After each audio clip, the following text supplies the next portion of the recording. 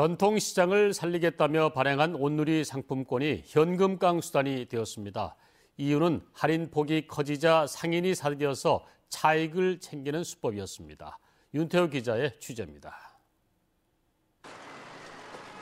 개인 소비자에게 5% 싸게 팔았던 온누리 상품권이 지난달 21일부터 31일까지는 10% 싸게 제공했습니다. 중소벤처기업부가 설 대목에 전통시장을 살리기 위해 할인율을 높이고 한 명당 구매 한도도 30만 원에서 50만 원으로 올렸습니다. 판매를 시작한 지 불과 이틀 만에 전국 목표치 4,500억 원어치가 동이 났습니다.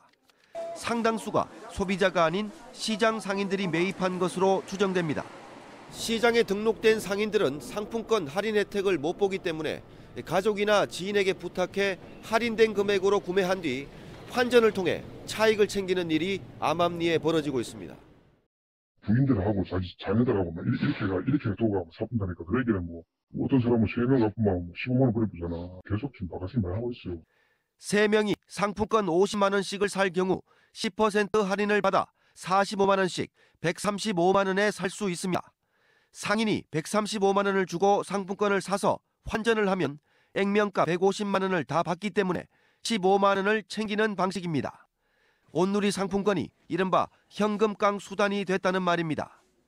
상품권은 동이 났지만 실제 시장에 유통되는 양은 판매량에 못 미친다는 말이 상인들 입에서조차 나오고 있습니다.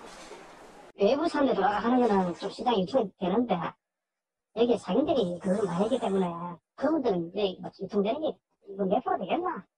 그냥 바로바로 이런 대로 현금치를 다 해주지.